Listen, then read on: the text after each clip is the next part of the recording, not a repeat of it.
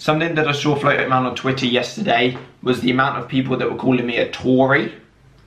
And I just want to 100% clear up right now that I'm not a Tory.